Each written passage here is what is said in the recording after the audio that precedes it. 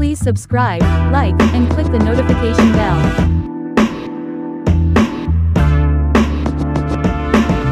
26 year old Simone Biles claimed her third gold medal at the 2023 Gymnastics World Championship on Sunday by winning the women's beam with a superb routine on the final day of competition. Biles oozed with confidence throughout the competition.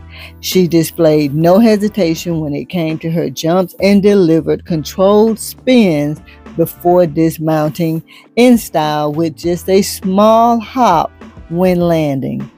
Biles has won a record 36 medals at the World Championships and Olympics. Biles was also married recently to Jonathan Owens in a destination wedding in Cabo after legally marrying at the 1910 Harris County Courthouse in Houston, Texas. And I must say, marriage is working in her favor.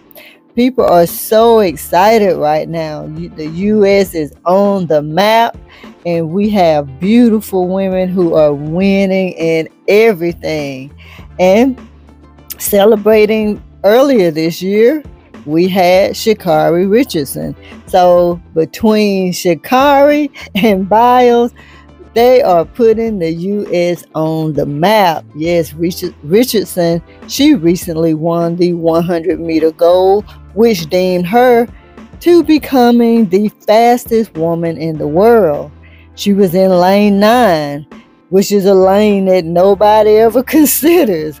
But that day, Richardson says, Mm-mm, we're not doing that. We're going to put some popularity in this invisible lane.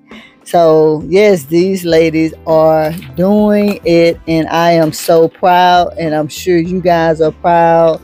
And I look forward to more from Biles and Richardson in the near future. So, guys, are you as excited as I am to see these ladies killing it? Let's talk about it in the comments, guys, because hey, it only goes up from here, right?